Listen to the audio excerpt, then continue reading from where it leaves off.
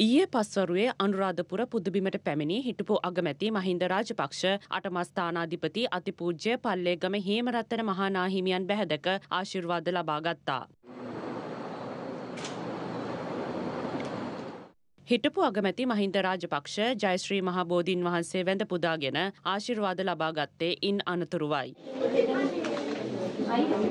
මේ අතර හිටපු අගමැතිවරයා රුවන්වැලි මහා සෑ පුදුබිමට පැමිණි අතර රුවන්වැලි සෑ චෛත්‍ය රාමාධිපති පූජ්‍ය ඊතල වැටුණු වැවේ ඥානතිලක හිමියන්ද බැහැදැක ආශිර්වාද ලබා ගත්තා.